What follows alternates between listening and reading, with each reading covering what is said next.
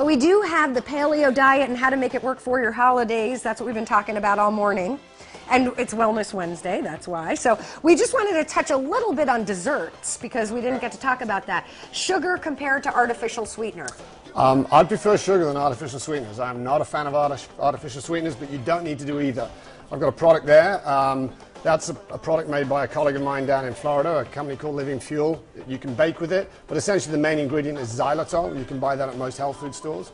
Um, so that would be a, a, definite substitute there. Now the hard thing is sometimes you go to holiday parties, they have cookies, they have cakes, and you want to eat that. So what suggestions do you have? Well, from my perspective, I say to my clients, don't cheat yourself with that.